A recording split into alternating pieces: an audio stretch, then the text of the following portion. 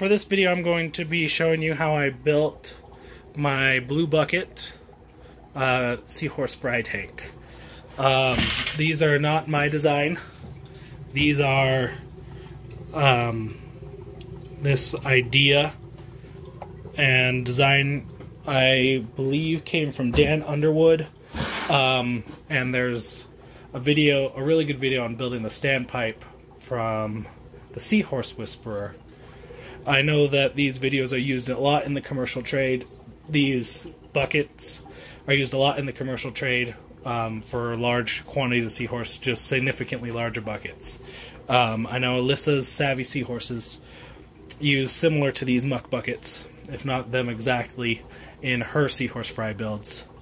So, I'm gonna do a step-by-step walkthrough on the full build because as far as I know I haven't been able to find one that has been um, explicit on all the steps so that you guys can follow along and um, build them if you're going to try and raise some seahorse fry. Alright, for today's video I'm going to show you how to make the uh, seahorse fry system using the blue bucket method. So, um, just for starting initial supplies, I just went to Lowe's and got some of these muck buckets. They're 18 gallon muck buckets. The ideal um, tub is actually a 20 gallon koi bowl, but those are not the easiest to come upon and they're significantly more expensive. These are just like a few bucks each. So um, here's my stand that I built in the previous video, and at the bottom I have the sump that I also built in a previous video. So um, I'm going to start off doing the return lines. Um, I like to start off by moving myself all the way to one side so I can get as much space on the other side as possible to store anything that I might need to.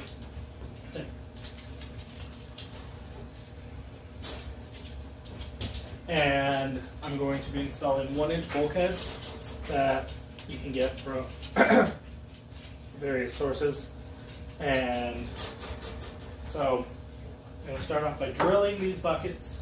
In the center, at the bottom, I've already drilled the stand to have holes in it. So, and I've already did a starter hole when I was lining it up. So just simply gonna drill out the plastic.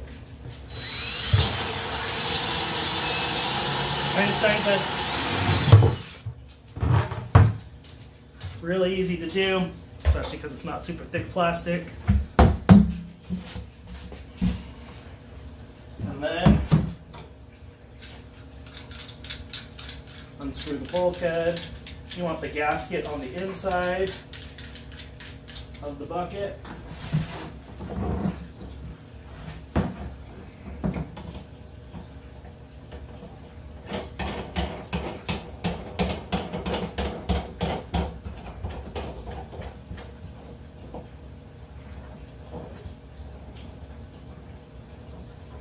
And I like to get nice, want to get nice and tight. Pretty much as far as I can hand tighten it. And place it over the hole. Same thing for the other bucket.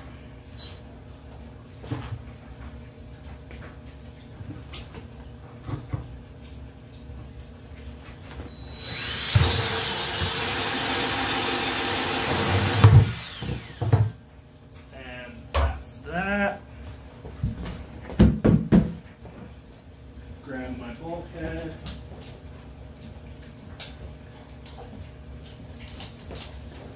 So for one inch bulkhead, which I'm using, you want a 50 millimeter uh, hole saw. So that's usually because of glass hole drilling. Um,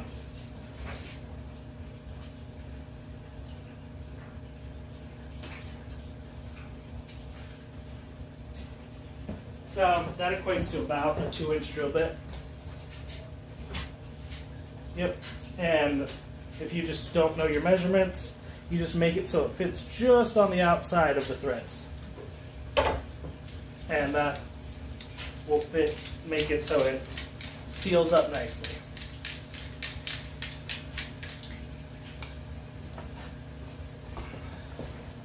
Um, I bought this hole saw kit and I'm actually using 51 millimeter because that equates to a two inch hole and I have had no problems.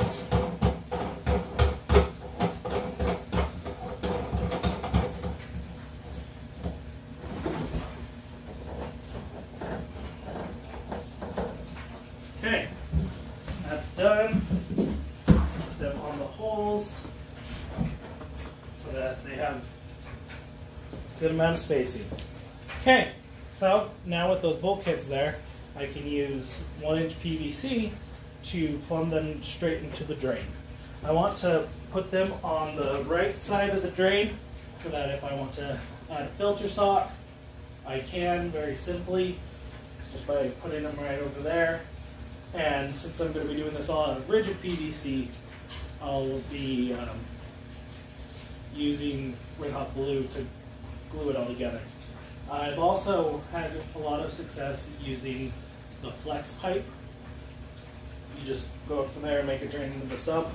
But for this build, I'm just going to use rigid PVC because the flex pipe's fairly expensive um, for how much you get compared to just getting PVC from your local home improvement store. So let me get that.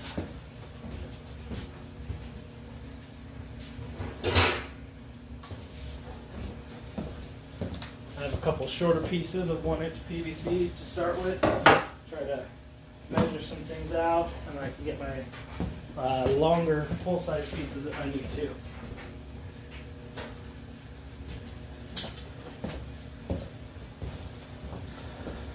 So when I do uh, my plumbing, I generally try to stick with 45s, but because of how little flow I put into these tanks, I have no problems using 90s, even though it does slow down my drain amount.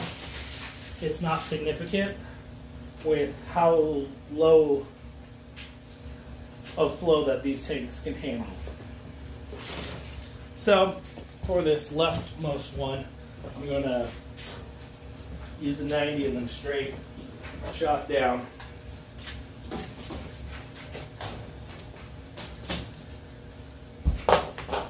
So that things are not in my way, I try to make it so that the pipe is pretty close to the top. Now, so I'll just come down past my bracket here, my support bracket, just a little bit under it, and then over and down. So,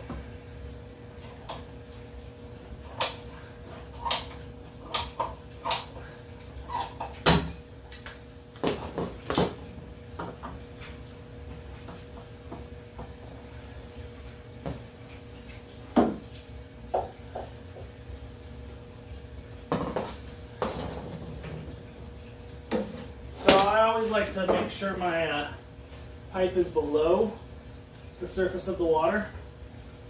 That way, um, it's not as loud. And the very last section, I actually won't glue it in, uh, so that if I do do filter socks, it'll be a lot easier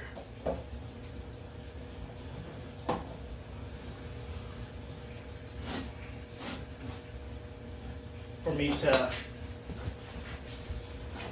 do my uh, filter sock changes.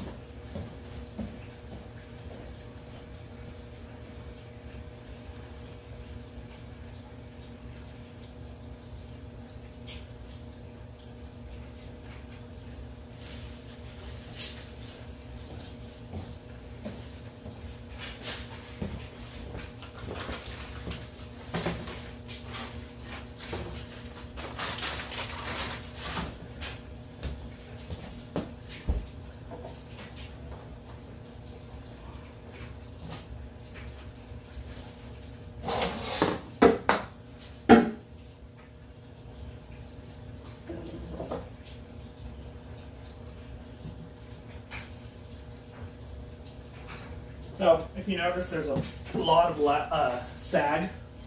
What I'm going to do is I'll just brace the PVC with a strap so that it stays fairly horizontal so it's not putting much torque on my muck bucket because that could cause the seal to break. So this is pretty much the design I'm going to hook up. Um, if I do add a filter sock later, I'll just cut it here and then add a removable end that will drain into the filter sock. So that's the one. Now for the other one, I'm going to use a 45 because it's not a very long distance which it has to travel.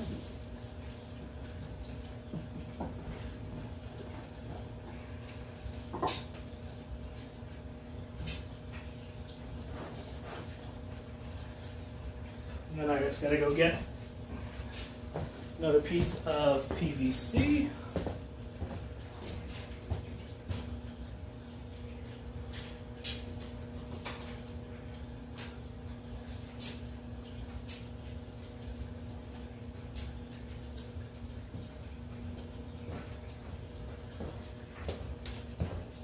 This is just a scrap piece I had around.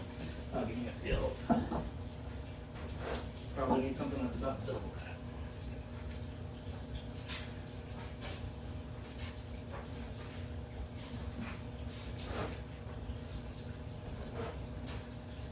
Okay, so I'm gonna